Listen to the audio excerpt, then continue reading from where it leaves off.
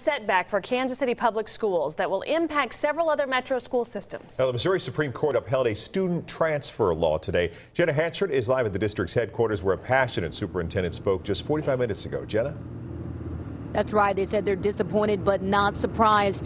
They know two things here about this ruling. The first is that the law will allow students to transfer out of the Kansas City Public School District. It will also force the district to foot the bill for all of those students who do want to transfer. So the district still doesn't know at this point how much they will be required to pay and how many students really are looking to transfer here. So right now, there are about 16,000 students in the district, and the district estimates that it would cost at least 10,000 1000 per student to transfer. Now, the law has already been in place in St. Louis, where thousands of students have fled to neighboring school districts, putting a real financial strain on the city's schools.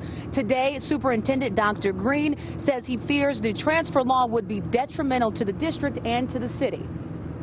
This ruling, along with the inadequate transfer law, has the potential to rip that away from thousands of urban students.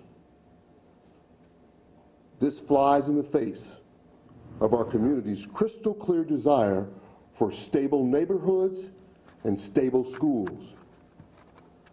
That stability, that important ingredient